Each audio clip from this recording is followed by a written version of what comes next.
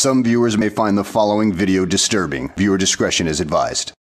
Our information is that Smith and another suspect were to be charged with the death of two congregants at Smith's church two Sundays ago. The second suspect, who was being transported to face similar charges, was in another marked service vehicle that was piloting the vehicle carrying Smith and the policeman who died. This is dash cam video just before the accident. Senior Superintendent Stephanie Lindsay, head of the Police Communications Unit, CCU, says a detailed investigation is trying to find out how the accident happened. We're not sure exactly what transpired, apart from the fact that we know that the, the, the pilot vehicle indicated that the, they heard crashing sounds as they were traveling a convoy. And when they looked behind them, they saw the vehicle overturned and they went to the assistance of the officers where they realized the nature of the injuries and the ambulance came and took them to hospital where they were pronounced dead.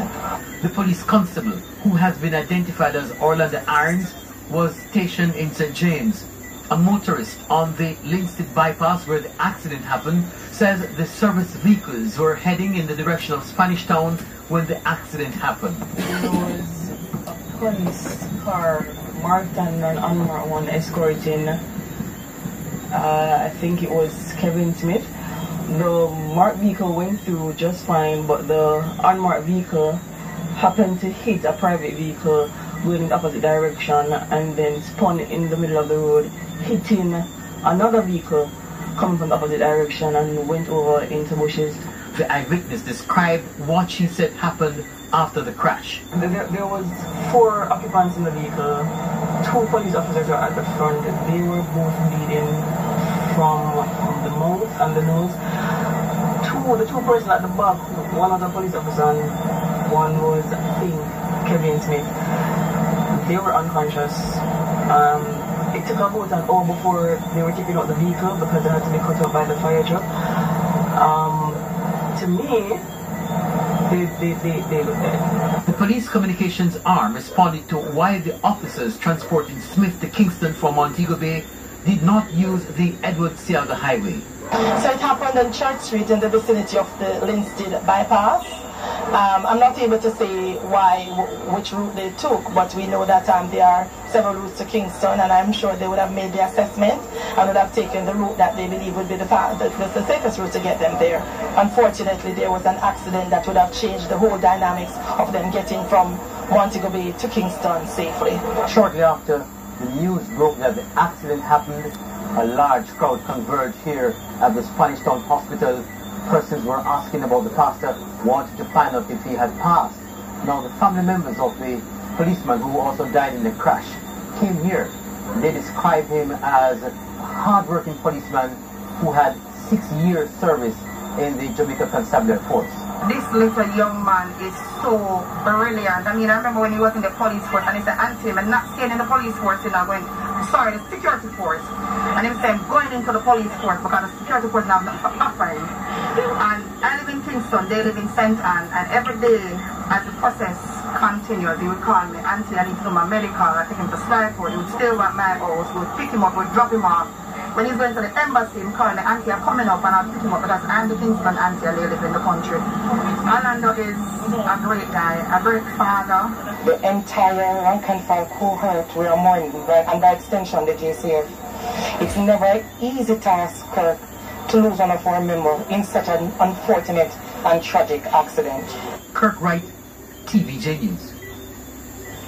In the meantime, attorney Valerie Neita Robertson is demanding answers from the police after the death of her client, Kevin Smith. Mm. She's now acting on behalf of Mr. Smith's family. In an interview with our news center, she said she was not informed by the police that Mr. Smith was being transferred from St. James to Kingston. So there are questions about why did they take him before the parish court in the jurisdiction where the alleged the offences were committed. Mm-hmm. And then there now they could ask for the voluntary bill to send it to the circuit court in the parish. Why are they carrying it to Kingston? Because any application to move the jurisdiction, I have to participate in that. You have to inform me, you have to file affidavits to say why you want it moved out to the parish of St. James. Everything that is happening is very curious. And certainly not what usually happens, and the family is concerned about it. So I'm now asking for the estate. She says prior to the pastor's removal from St. James, she was kept in the dark on his whereabouts. She confirmed Smith was questioned by detectives on Saturday, and he later asked to be taken to the doctor as he was feeling a pain in his leg. Uh, limping for several days, and we asked for him to be taken to the doctor. They asked him 40 questions which he didn't answer and that ended there. So we, this morning now, when we are trying to contact him to speak to him on behalf of his family, he's not in custody.